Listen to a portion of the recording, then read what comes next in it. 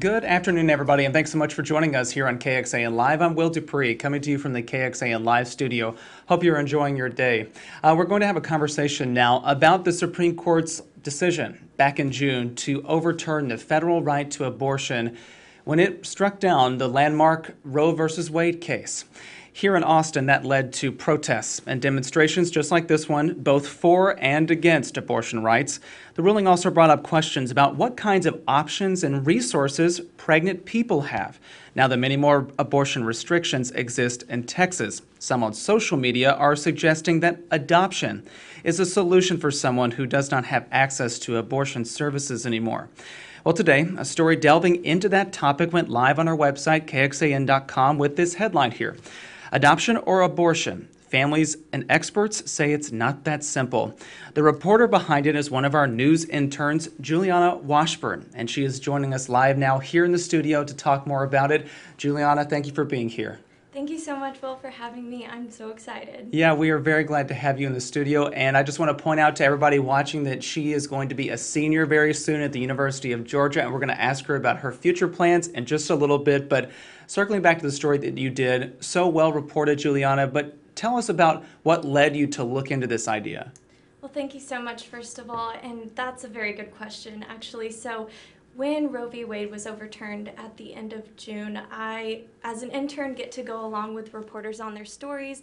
And I actually got to go along on a couple of stories where we were visiting um, places like crisis pregnancy centers, talking to these places about what what we're going to do now. What are the options for women now? And I kept hearing adoption being brought up. And as I heard the the word adoption so many times, I began to wonder what happens after that adopt that is offered. I mean, is it really that simple? What does it look like after someone says, "Oh, well, you can just place your child for adoption?" So that's when I decided to work on this story and really dive deep into what comes next? Is this really that simple? I'd like to highlight one of the quotes that you included in your story, and here it is right here. It reads, it's often said quite flippantly, why don't they just choose adoption as if adoption is an easy choice? It's not. Uh, Julianna, what did you find from people there about the emotions that are involved in the adoption process, both from the biological parent and the adoptive one? That was just a striking part of working on this story for me, speaking to people who were both adopted or um, have gone through the process as an adoptive parent mm. or who have just heard stories. Each person I talked to were emotional in some way about the process, and and really what I gathered was that it's it's not simple. Um, that's that adoption with it comes so many complicated feelings that last forever. Um, and this can be traumatic. This can be something that people deal with the rest of their lives.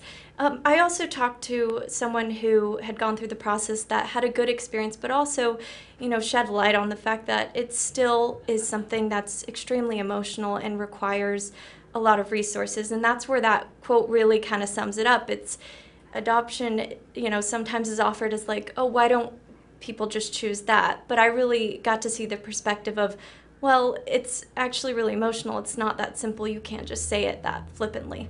Hmm. And your story really focuses on private adoption. And we should note there is obviously the public side through the foster care system. And you put out this graphic in your story and put it together really nicely and explain what the different options are in terms of, of, of adoption. Explain what those are.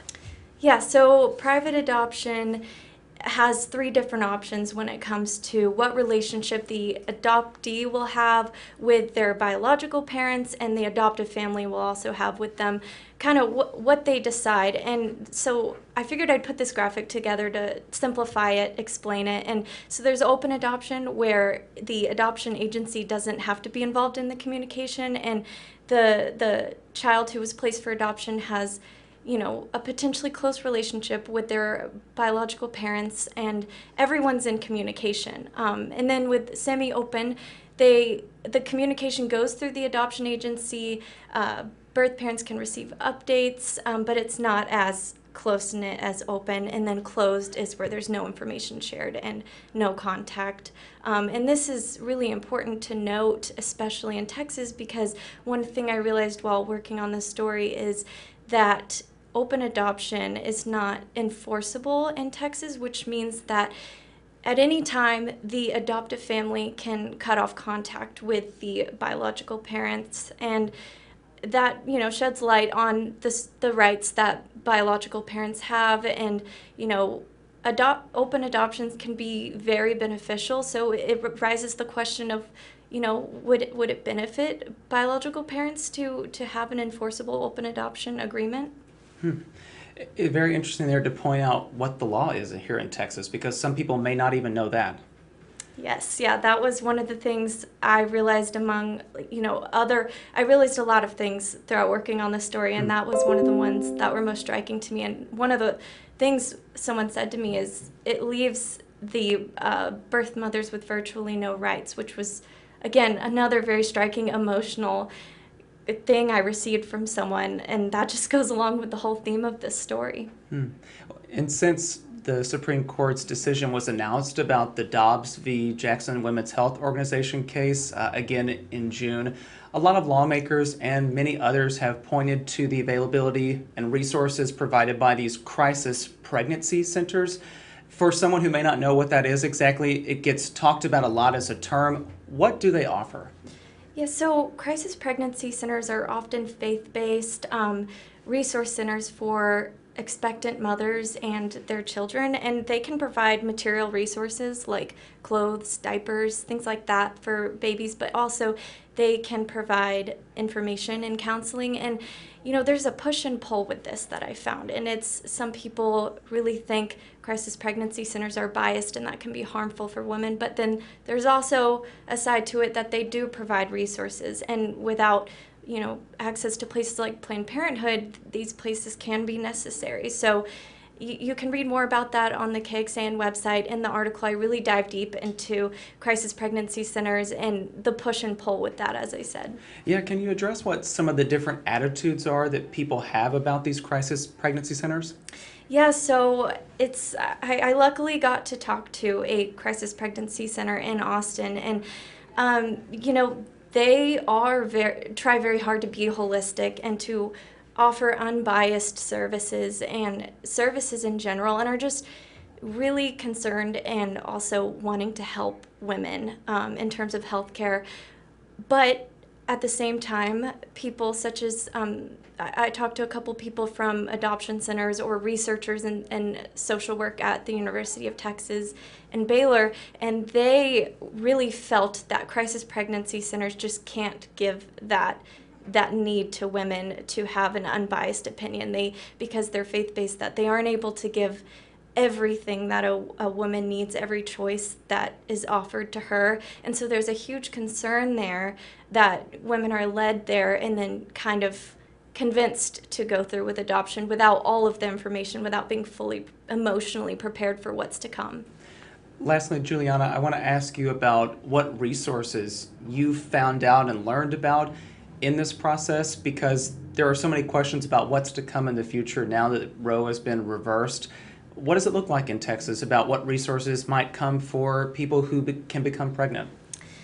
Yeah, so I think one of the biggest ones I found was, you know, if women do not have access to abortion services, I think a huge thing I saw was that these women in general, expectant mothers, whatever decision they decide to make, if they decide to go with adoption or they decide to, you know, have their child, that they just need resources in general. And, you know, uh, these resources, they if they choose adoption, it can come through the adoption centers. And in that case, someone mentioned ongoing counseling for the uh, emotional impact that that the process can have. That would be beneficial. Um, enforcement of open adoption would be beneficial, um, and that's just focusing on adoption. But like I said, you know, crisis pregnancy centers have resources, but again, there's that push and pull with them. Um, so someone mentioned, you know, they would recommend someone going to uh, Planned Parenthood or a place that has a um, social worker there um, to give them a full view of what their options are. Um, yeah, I, I dive deep into that too at the end of my story, so you can definitely check that out on the website as well. And that is what we're going to push right now. If you'd like to read more in depth about what Julianna has reported, as one of our news interns, an incredibly intelligent one who put this story together. Uh, that you can find it right now on our homepage on kxan.com. Now, before we go, Julianna, I do want to ask you because you're going to be a senior at the University of Georgia, as I mentioned at the very top of this conversation. What are your future plans? Oh, I am so excited for my senior year. I just plan to make the most of it. I'm diving deep into things um, when it comes to activities. So I will be working at the Red and Black newspaper, um, which is this newspaper I've worked on my whole college career. So I'll be diving deep into that, but also I'll get the chance to dive deep into broadcast and I'll spend a whole semester working as an MMJ for um, my school broadcast studio and I'll get to produce stories about every day, which is so awesome um, as I look forward to a career in journalism. Well, we look forward to having you come back here one day.